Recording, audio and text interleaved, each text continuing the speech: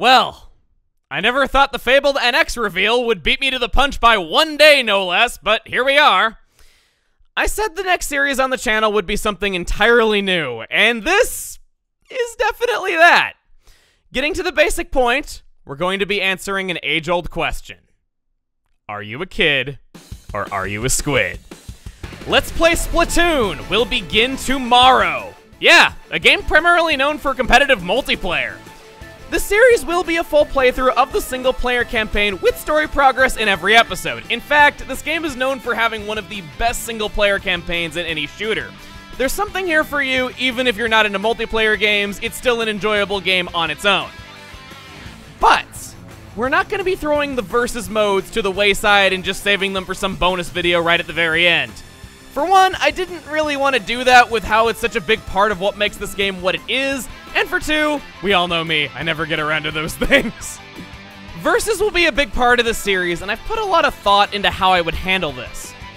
I want to showcase every mode, every side activity, the full story mode, every weapon, everything it is to be a Splatoon fan meshed into a series of videos.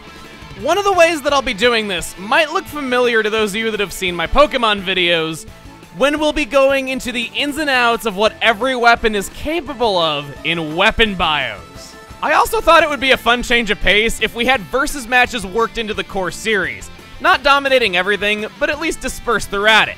Those are challenges that I can't always win and are largely out of my control. Also, being a Splatoon player since the game was released, I have a lot to say about the different maps, different modes, different weapons, all that stuff. It's enough that I think could definitely make its own series on top of what we're already doing. And on top of that, in a game like this, community is an important thing, and I would want that to also be a big part of it.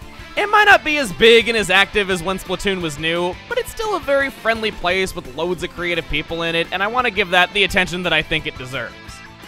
We will occasionally have guests on, but most of the time, I'll be playing matches alone with randoms, no voice chat or anything like that. It's entirely possible that you might be an opponent of mine in this series too. I will be advertising when I'm recording matches with randoms on my Twitter and Facebook. In fact, I've already been advertising this for a while now since this has been in the works for a long time. I just very craftily haven't said that it's for a Let's Play. If you consider that crafty, I honestly don't. I don't know why I said that. Anyway, that's about it. I hope this is something you like. A lot of thought, a lot of energy has gone into this. It's something entirely new, and I hope you enjoy it. I'm just kind of repeating myself now. Oh, right. I should probably address the thing. It seems like it's just my luck that every time I'm Let's Playing a game, within a day of announcing it, they announce a sequel in that series of games. And there was that Splatoon teaser yesterday.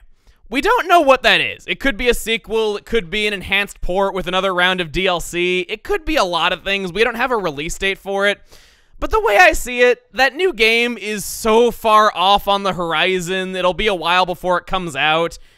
And if it's a sequel, then it won't have the same single player story as this game, and it still warrants talking about this one.